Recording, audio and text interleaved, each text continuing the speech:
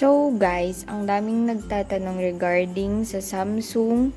Bago ata to itong Samsung Digital Inverter.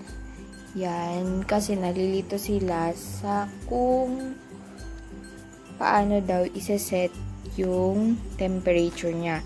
At first, kami din nagka-problema kasi medyo nakakalito yung settings niya talaga. Hindi siya lumalamig.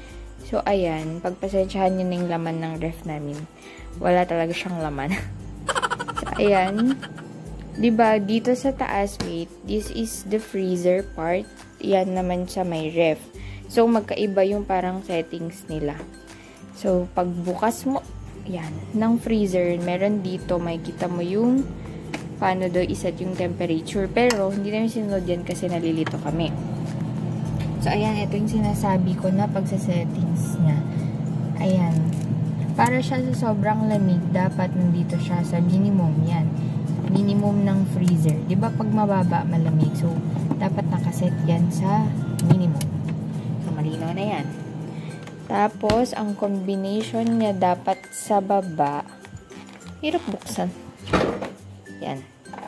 Yan. Meron ding sariling, ano dito sa baba, di ba yan?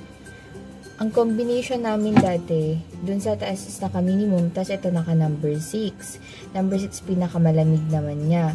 Pero dahil medyo taglamig na ngayon, sinet ko siya ng 4. Pero kung gusto niya talagang malamig, iset niya siya ng 6.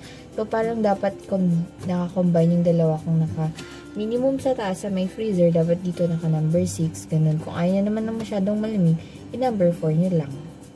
So, ayun siya guys. Ganun lang siya iset. Ang dami kasi nagtatanong, ba nalilito. Pati kami nalito. Huwag kayo mag-alala. So, sana nakatulong.